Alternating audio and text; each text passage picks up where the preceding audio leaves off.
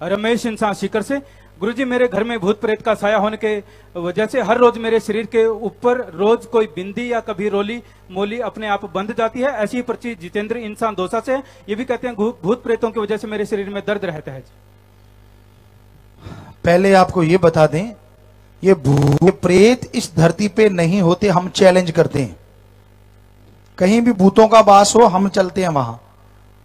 वैसे राजस्थान वालों के तो शक निकली गया होगा। क्योंकि उस किले में हमने शूटिंग की है जी टू की। जो आप कहते थे भान का किला, जिसमें भूत रहते यहाँ लिख के भी लगाया गया है कि रात के छह बजे के बाद किसी ने जाना नहीं, शाम के छह बजे। हम सारी सारी रात घूमते रहे हैं। बहुत ढूंढा एक भी भूत नहीं मिला, पता नहीं किधर चले गए सारे। उल्लू ज़रूर मिले, बंदर मिले, लंगूर मिले, एक आध चीता भी दिखा, लेकिन भूत नहीं दिखा, क्योंकि भूत होता ही नहीं। हमारे पवित्र वेदों में लिखा है, इस धरती पे भूत नहीं होते। ऊपर रूहानी मंडलों पे होते हैं।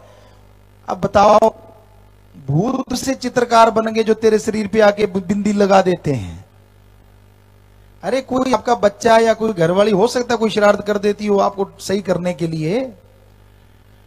हो सकता है घर का ही कोई बंदा ऐसा कर रहा हो तो कोई भूत नहीं, हम गारंटी देते हैं, आपका कोई भूत बात नहीं है। है तो चलो मान लो, आपका भरम भूत वो भी निकल गया आ जाए आप लिख दिया तो। किसी तरह मान जाओ मान जाओ, पर भूत नहीं है आप में, ये गारंटी।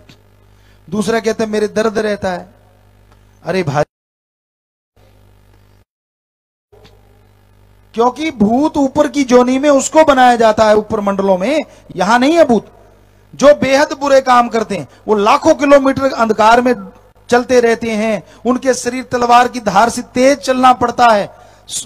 सूक्ष्म शरीर बनते, कटते रहते हैं। वो तड़पते रहते हैं तो किसी को क्या दर्द दे देंगे? तो इसलिए आपके दर्द है तो किसी अच्छे डॉक्टर को दिखा ले भाई। मत पड़े इस चक्कर में। राम का नाम जपो, दवा और दुआ दोनों काम करती हैं। कोई भूत नहीं होता, हम आपको गारंटी देते हैं इस बात की।